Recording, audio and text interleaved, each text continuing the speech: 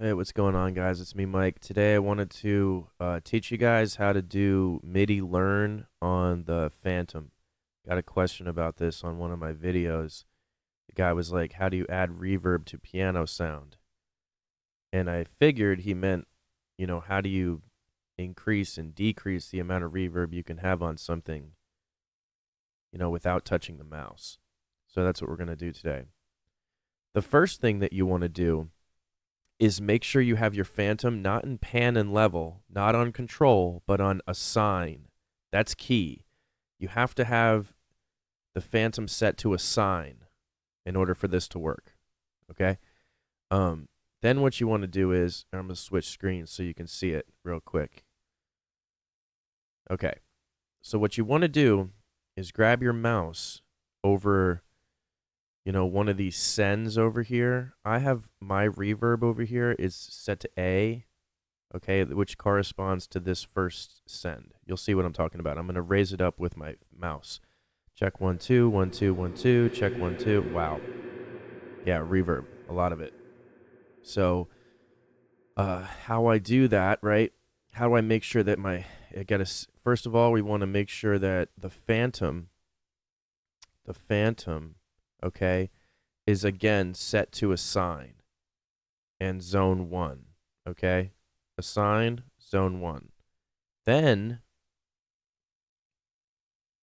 then we're going to come over here to the thing right here, and you're going to right click. You have to right click it and scroll down here to edit MIDI map.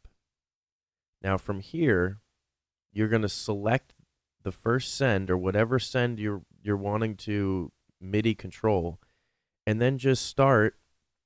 Check this out. What you're going to want to do is just start twisting this knob. Now, this knob movement will correspond to this knob right here. You can see that it has a new MIDI value, point slash two eight or whatever that says. And then to disengage from this grayed out screen, you simply come down here to edit MIDI map and just deselect it. Now, theoretically, if I, hold on, let me switch my camera real quick. If I see how my, my, my fingers right here on the knob, if I turn this, you should see it coming up on my screen without me using the mouse. You guys see that? Check, check, one, two. Now, this also applies, obviously, to the pads as well.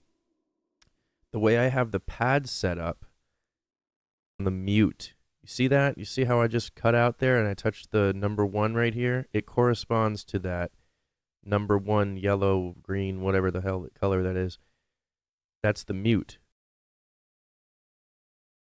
And there I am back again. Same for number two, same for number three, same for number four. Now that the reason I do that is because I can have all the clips in Ableton playing and all I have to do is take them out one by one and I can arrange the music in a different way.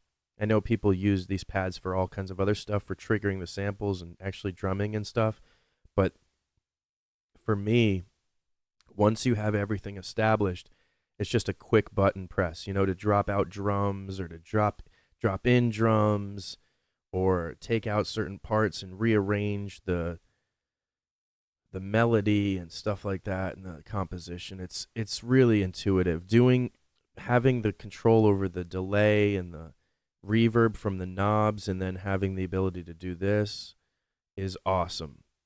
I've also mapped my modulation controller in the exact same way I just described to you guys.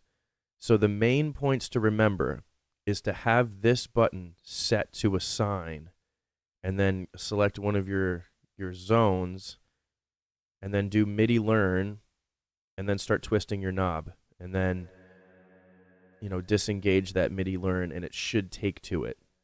I've set up a couple of Ableton uh, templates in this way so that every single time I open Ableton, it'll work just like this and I don't have to reset it up.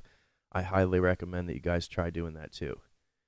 I hope this helps somebody. If you guys have more questions about MIDI learn functions uh, with the Fantom and stuff and how to marry that to your DAW, just leave a comment and I'll do my best to respond.